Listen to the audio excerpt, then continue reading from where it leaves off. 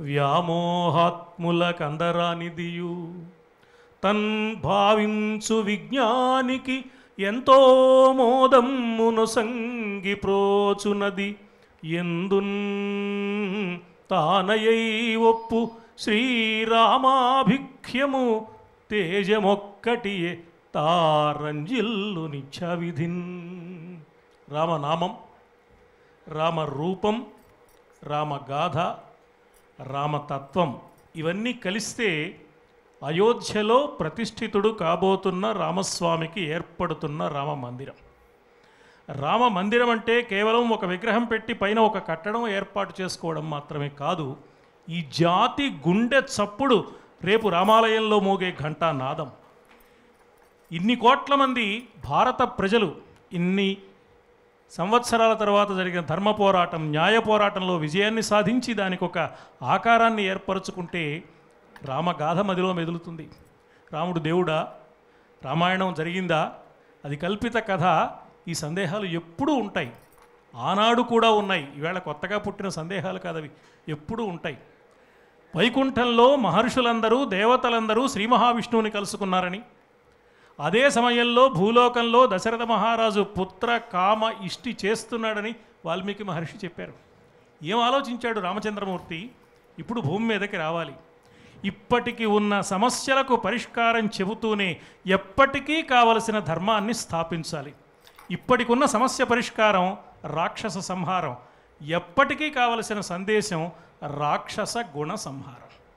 ఈ రెండు జరగాలి అంటే పితరం రోచయామాస దశరథం ధార్మికం నృపం. ధర్మాత్ముడైన దశరథ మహారాజు కుమారుడుగా జన్మిస్తేనే అయోధ్య నుంచి కదిలి దండకకు దండక నుంచి లంకకు వెళ్ళి రాక్షస సంహారం చేసి తాను వేసే ప్రతి అడుగులోనూ ధర్మస్వరూపాన్ని మానవజాతికి ఆదర్శంగా చూపించడానికి అవకాశం ఉంటుందని భావించి శ్రీ మహావిష్ణువు రాముడుగా దిగివచ్చాడు. అందుకని దేవుడు మానవుడయ్యాడా?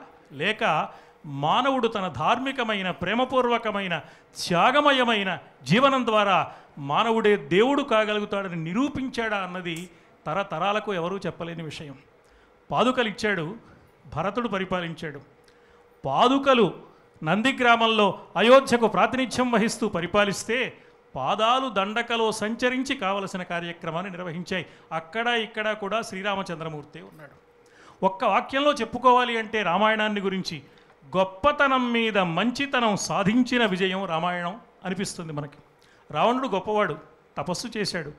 తపస్సు చేసినంత మాత్రాన గొప్పవాడు అవుతాడా? మహర్షులు తపస్సు చేశారు తమను తాము సృష్టికి సమర్పించుకున్నారు.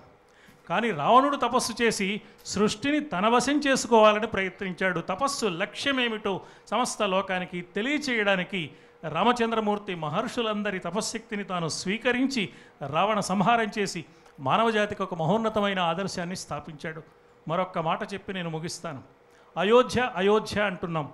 యోద్ధం శక్య అయోధ్య. యోద్ధం న శక్య అయోధ్య.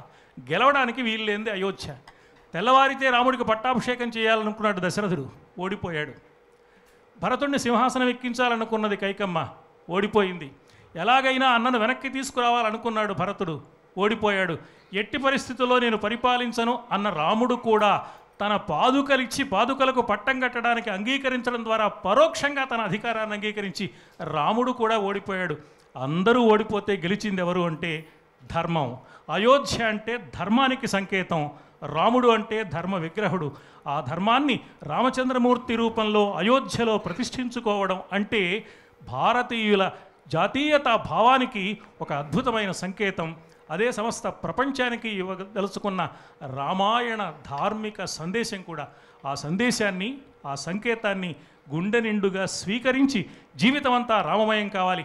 ప్రపంచమంతా రామమయం కావాలి. రాముడు ఆచరించిన ధర్మాన్ని అనుసరించి ఈ విశ్వమంతా శాంతిమయం కావాలి ధర్మమయం కావాలి అన్నదే అయోధ్యలో రామ విగ్రహ ప్రతిష్ట. అది ధర్మ ప్రతిష్ట అది శాంతి ప్రతిష్ట అది న్యాయ ప్రతిష్ట గారు మీరు ఈ భావిస్తూ ఆ- ఈ ఆనందాన్నంతా గుండె నిండా స్వీకరిస్తున్నాం. కానీ ఈ ఆనందాన్ని భవిష్యత్ తరాలకు అందించాలి భవిష్యత్- గురించి కూడా ఒక మాట చెప్పండి ప్లీజ్ భవిష్యత్ తరాలకు అందించడానికి రామగాథ ఇంటింటా వినిపించాలి. ఇంటింటా వినిపించడానికి ఇందాక వారు చెప్పినట్టుగా ఒడి బడి.